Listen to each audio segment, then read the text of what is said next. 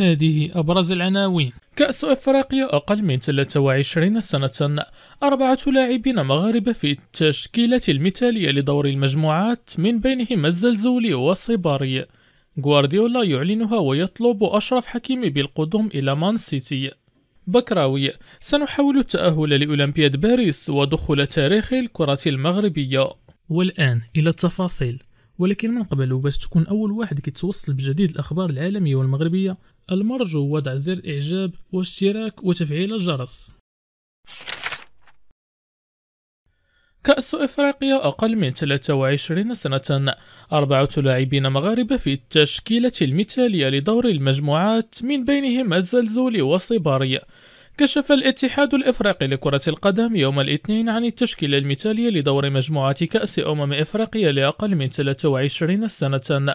وعرفت التشكيلة المثالية للمسابقة القارية حضور أربعة أسماء مغربية تتمثل في مهدي بوكامير وإسماعيل سيباري وعبد الصمد الزلزولي ثم يانيس بقراوي وعرفت التشكيلة المثالية حضور المصري حمزة حسين في الحراسة وبوكامير وحسام عبد السلام ثم إبراهيم السيسي في خط الدفاع وفي الوسط تواجد رفقة السباري كل من الماليين شيخ نادومبيا وفودي دوكوري والمصري إبراهيم عادل. بينما تكون الهجوم من الثلاثي أسامة عبد الهادي من المنتخب المصري وعبد الصمد الزلزولي ويانس بكراوي. يذكر أن المربع الذهبي سيعرف اصطدام مصر بغينيا يوم غد انطلاقا من الساعة السادسة مساء بملعب طنجة الكبير. فيما سيواجه المنتخب المغربي نظره المالي في اليوم ذاته انطلاقا من الساعة التاسعة مساء بتوقيت المملكة المغربية بمركب الأمير مولي عبد الله بمدينة الرباط. غوارديولا يعلنها ويطلب أشرف حكيمي بالقدوم إلى مانشستر سيتي.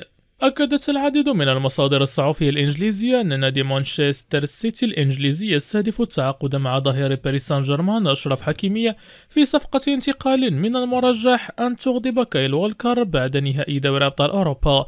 وبحسب ما ورد يتطلع مانشستر سيتي إلى الاستغناء عن كايل وولكر في الوقت الذي يتطلع فيه الظاهر المغربي أشرف حكيمي إلى تغيير الأجواء. ويرغب السيتي في تعزيز صفوفه بدماء جديدة بشكل أكبر بعد فوزه بثلاثية دوري الأبطال أوروبا والدوري الممتاز وكأس الاتحاد الإنجليزي.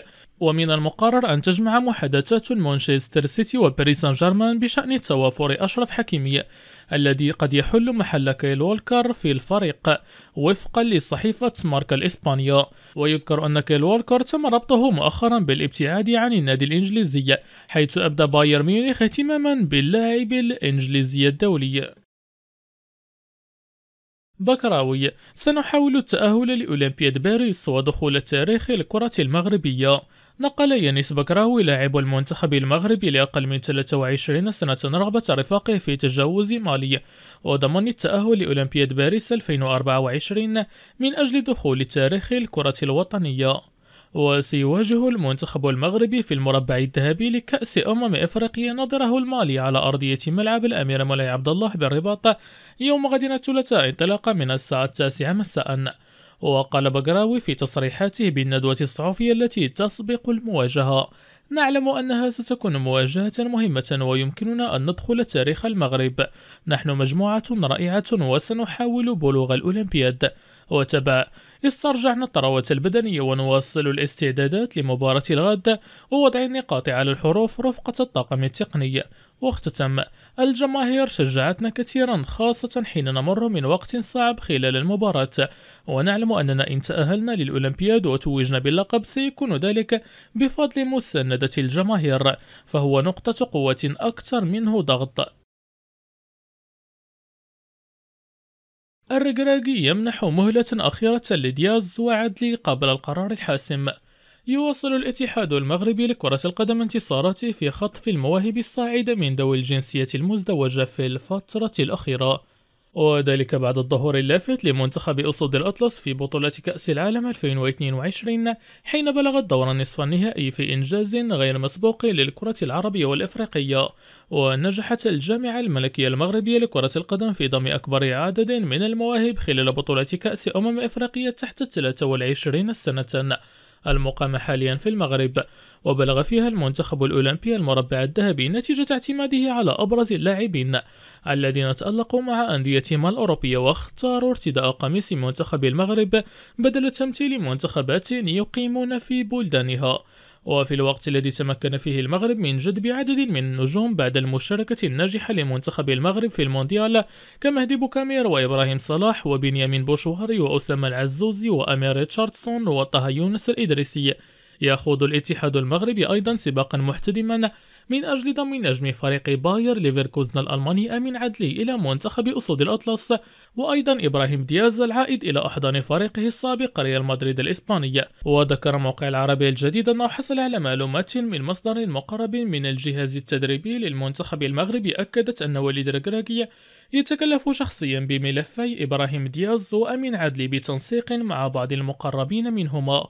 إذ يحاول إقناعهما بارتداء قميص منتخب أسود الأطلس اعتبارا من بطولة كأس أمم إفريقيا التي تحتضنها الساحل العاج في يناير المقبل. وأضاف حسب ذات المصدر عن أن وليد رجراجي المدير الفني للمنتخب المغربي تحصل على معطيات جديدة تخص رغبة اللاعبين دياز وعدلي في ارتداء قميص أسود الأطلس في المرحلة القادمة إلا أنهما مترددان في حسم قرارهم النهائي. وتابع. قرر المدرب الرقراقي منحهما مهلة أخيرة وحدد شوتنبر القادم لاتخاذ قرارهما النهائي إما اللعب لمنتخب المغرب أو التراجع نهائيا عن فكرة ضمهما إلى كتيبة القائد رومان سايس واختتم المصدر نفسه حديثه بالتأكيد على أن الرجراجي يعتزم استدعاء اللاعبين دياز وعدلي خلال المعسكر التدريبي المغلق في الرباط في شهر شتنبر المقبل للتحضير لمباراة ليبيريا في الجولة الأخيرة من التصفيات المؤهلة إلى نهائية كأس أمم إفريقيا. وعليه يريد أن يحسم هذان اللاعبان قرارهما بسرعة حتى يسهل دمجهما بسهولة في تشكيلة منتخب أسود الأطلس. إشبيليا يصدم النصيري وبونو في الميركاتو الصيفي. أبدى الدوليان المغربيان يوسف النصيري وياسين بونو استعدادهما للاستمرار مع إشبيليا الإسباني في ظل تألقهما وارتياحهما مع الفريق الأندلسي. وفي ظل موافقة الثنائي على الاستمرار يعارض إشبيليا رغبة اللاعبين المغربيين بإبداء موافقته على رحيلهما من أجل إنعاش خزينته المالية. وفق ما ذكرته تقارير صحفية إسبانيا وتابعت أن الديون تلحق إشبيليا والنادي مطالب بتوفير 90 مليون يورو من أجل تسوية أوضاعه المالية قبل دخول غمار الموسم القادم.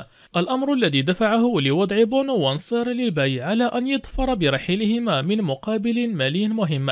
وأشارت التقارير إلى أن النصر يثير اهتمام نادي نيوكاسل يونايتد الإنجليزي الأخير الراغب في شدة في توقيعه فيما يتحرك الثنائي السعودي النصر والهلال لضم ياسين بونو.